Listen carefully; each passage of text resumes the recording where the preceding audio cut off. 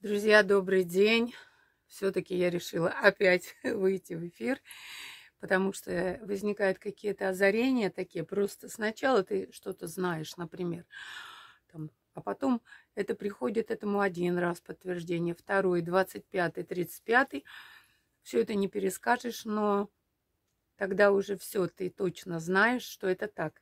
И мне хочется с вами поделиться этим знанием, что точно так. И тема сегодняшняя, она очень такая простая. Почему нельзя есть мясо животных? Вот никто об этом так не говорил, особенно, ну, там говорят, вредно для здоровья, там еще. А я сейчас совсем с другой позиции на это посмотрю и скажу вам. Ну, наша христианская религия предполагает, что человек умирает, один раз живет, умирает, потом в могиле, да, там гниет, до последнего атома, находится под землей там, мучится там или что. И потом, значит, вот он там лежит и ждет э, страшного суда, который уже 2000 лет там ждут, и никак он не приходит. Индийская же религия и философия, которая более древняя, естественно, чем Ветхий Завет и все, она утверждает, что, и у меня тому есть точное доказательство, что есть э, в этой жизни Э, круг сансары, так называемый круг перерождений. То есть человек умирает, потом он снова рождается, но рождаться он может в разных формах. Он может родиться деревом, родишься баобабом и будешь баобабом тысячу лет, пока помрешь. Он может родиться и животным, особенно животным. Вот, то есть получается так, что, допустим, представьте, что у вас был любимый муж, он умер, или любимая жена, или сын, или дочь, или родственники, они умерли. И они переродились, например, в коровок, в овечек, или в кого там, что еще люди едят, в свиней, в конце концов. И эти свиньи родились у вас. То есть попали к вам и живут в вашем дворе. Ну, вы их выращиваете, кормите, а потом режете, например, это в деревне. И это поедаете. То есть вы съели кого? Своих родственников.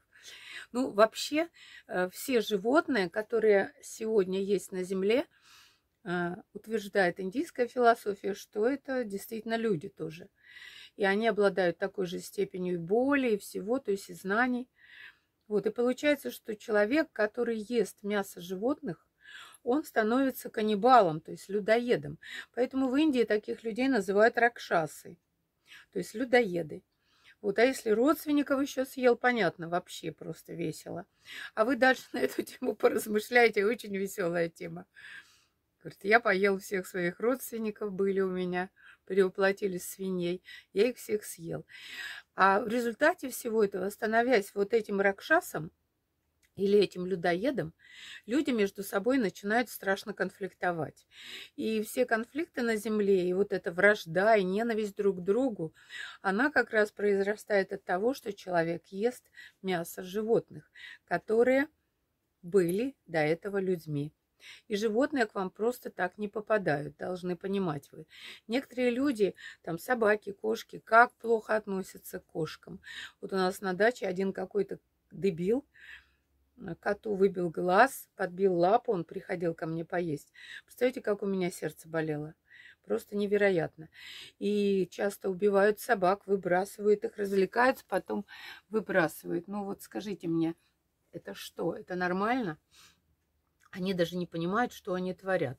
Но от того, что они не ведают, что творят, это не значит, что они будут отвечать, не отвечать по закону. Если вы съели своего родственничка, извиняюсь, то в следующей жизни вы тоже станете этим же животным, там, говядиной этой, коровкой, или там свиньей, или кем-то. И вас тоже, а те станут людьми, и вас тоже съедят. И вот этот процесс бесконечный. Все друг друга поедают. Отсюда это называется ракшасой. Эта тема очень такая короткая, она, но она должна быть понятная вам. Конечно, если вы не верите ни в какие перерождения – и считаете так, как считает христианство, что на земле душа родилась один раз, вот умерла, умер человек и ждет себе страшного суда, хоть сто тысяч лет. Будет ждать, не дождется там или дождется. Это уже другое дело. Вот, и вам надо все это вот как бы э, для себя постановить. Но если есть, э, ну, как я, человек подозрительный очень, допустим, я поверила в христианскую, так сказать, традицию или в христианскую религию, мне вот это сказали. А потом я узнаю в Индии другое. Конечно, я буду перепроверять. Я никому не доверяю, не верю. Я вообще против любой слепой веры. Если люди слепо верят, во что-то. Им говорят, уйдут в рай. Какой этот рай? Что там в этом рае? Уйдут ли они в рай? Или они не уйдут туда? Доказательств нету. Все те блогеры, которые рассказывают что-то там такое, они могут, конечно, какие-то переживать умственные свои впечатления, но это не значит, что это так.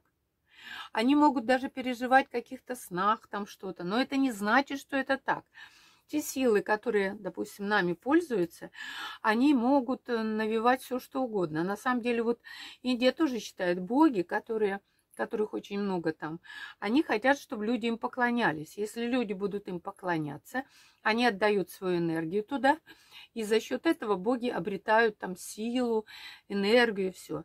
Но если хороший бог, и так же, как и правитель, мы отдаем ему свою энергию, то он, конечно же, для нас делает все хорошо. А если это другой такой бог, который наоборот.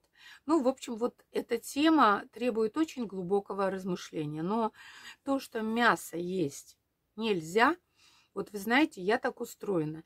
Допустим, мне говорят, вот это можно, вот это вот хорошо, а потом раз, и я нахожу другую информацию. Я перерою все, вверх тормашками переверну, но буду узнавать, правда это или неправда. И если у меня даже будет вот это между правдой и неправдой, то есть слово «не знаю пока как», я не буду это есть, я не буду это пить. То есть я так устроена.